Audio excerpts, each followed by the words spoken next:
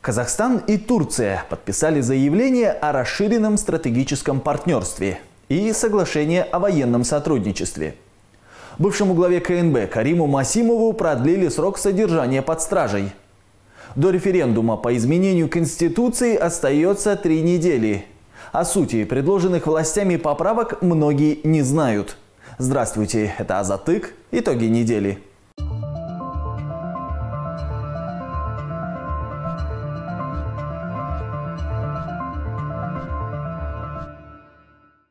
Президент Казахстана Касым Жомарт Токаев на этой неделе побывал с государственным визитом в Анкаре. На переговорах с турецкой стороной обсуждалось углубление сотрудничества. Визит проходил на фоне обостряющейся геополитической ситуации на континенте из-за военного вторжения России в Украину. Турецкий лидер Реджеп Таип Эрдоган заявил, что взгляды Казахстана и Турции на урегулирование ситуации в Украине на основе уважения суверенитета и территориальной целостности этой страны совпадают. Эрдоган отметил также, что Анкара готова внести вклад в обеспечение безопасности Казахстана. Хочу подчеркнуть, что мы готовы сделать все возможное для обеспечения стабильности, мира, безопасности и благополучия наших братьев-казахов. Токаев, в свою очередь, подчеркнул дружественные отношения с Турцией, основанные на родственной и языковой близости. Казахстану никогда не было никакого вреда от Турции. Мы получали только добрые отношения и поддержку. Так было раньше и так остается сейчас. Он назвал важным использование потенциала транскаспийского маршрута. Это коридор для перевозки грузов из Китая в Европу в обход России. Пекин в последнее время активно развивает пути в объезд территории России, которая из-за военной агрессии против Украины оказалась под жесткими санкциями. В ходе визита Токаева было подписано 14 соглашений, в том числе о военном сотрудничестве. Турецкая государственная аэрокосмическая компания и Казахстан Инжиниринг подписали соглашение о совместном производстве турецких ударных беспилотников «Анка» в Казахстане. Эксперты считают, Турция пытается усилить свои позиции в Центральной Азии и предлагает альтернативу лидерам стран этого региона, которые балансируют между такими центрами влияния, как Россия, Запад и Китай. Турция первой признала независимость Казахстана в 1991 году и первой среди иностранных государств открыла посольство в стране. Многие обратили внимание, что Токаев летал в Турцию самолетом, которым ранее пользовался Нурсултан Назарбаев – Экс-президент и после отставки продолжал путешествовать на лайнере Airbus Prestige. У Токаева же было воздушное судно поменьше и поскромнее. Теперь, похоже, борт номер один перешел от первого президента второму.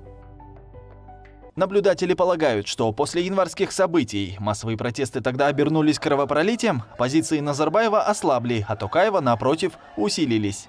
Несколько родственников и людей из окружения бывшего главы государства оказались под стражей. На этой неделе суд продлил срок ареста экс-председателя КНБ Карима Масимова до 6 июня. Масимов считался одним из ближайших соратников Назарбаева. В январе его сняли с должности главы спецслужбы. Предъявили обвинения в попытке переворота, государственной измене и коррупции. Дело расследуется под грифом «совершенно секретно» и службе. После январских событий, которые унесли как минимум 238 жизней, власти страны объявили о необходимости реформ. Токаев предложил изменить Конституцию. Разработано 56 поправок к 33 статьям. Пакет выносят на референдум 5 июня. В бюллетенях будет лишь один вопрос. Принимаете ли вы изменения и дополнения? Официально изменения трактуются как попытка сократить полномочия президента, усилить роль парламента, пересмотреть принцип формирования Мажилиса. Однако скептики считают, что отхода от суперпрезидентской власти ждать не стоит. Ряд поправок они называют косметическими. Часть изменений – популистским шагом. Родственникам президента, например, предлагают запретить занимать должности на госслужбе и в нацкомпаниях. Из Конституции убирают упоминание о первом президенте.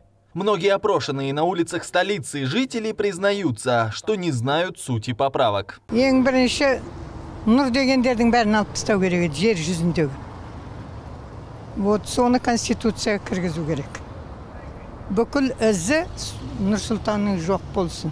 Да, хотят внести кое-какие изменения в Конституции, но определенно не знаю, что именно. бардың қажеті жоқ қой қазір Референдум ма? не знаю даже. Сейчас не могу ответить. Может, бармайтын шығар. жоқ оған қатысым жоқ В Алматы 9 мая прошло шествие, аналогичное бессмертному полку. Несмотря на призывы организаторов не использовать георгиевские ленты, которые воспринимаются многими как один из символов российской пропаганды, на мероприятии эти ленты были. Само шествие прошло без эксцессов. В ряде стран отказались от проведения бессмертного полка. Это произошло после того, как в России призвали выходить на акции с фотографиями погибших в Украине российских военных. Военное вторжение России в соседнюю страну продолжается. Тяжелые бои идут на востоке Украины. Казахстан официально не осудил агрессию своего союзника, но вместе с тем заявил об уважении территориальной целостности Украины и направил в эту страну гуманитарный груз. На этой неделе из Украины вернулись четверо алматинских врачей-волонтеров. Они оказывали медицинскую помощь жителям, в том числе бежавшим из зоны боев. Доктора отвезли в охваченную войной страну лекарства, купленные на деньги, которые собрали их коллеги и друзья. В паспорте написано, что я русский, да, и если уж начинать искуплять какую-то вину, то надо начинать с самого себя. Поэтому для меня было важно приехать людям сказать, я русский, я с Казахстана, нам не безразлично, мы с вами, и просто э, помимо э, того, что мы давали лекарства, мы, конечно, еще и даже просто помолиться за людей, побыть рядом. Тяжело, тяжело, очень эмоционально было тяжело. Алматинские врачи пробыли в Украине несколько дней, осмотрели сотни человек. Врачи-волонтеры говорят, что пограничники и таможенники выражали им благодарность за желание помочь украинцам. С начала войны в стране погибли тысячи мирных жителей. Миллионы вынуждены были покинуть свои дома. Такой была эта неделя глазами корреспондентов Азатыка. Еще больше интересного вы найдете на нашем сайте и страницах в социальных сетях. А это был проект «Азатык. Итоги недели». До встречи!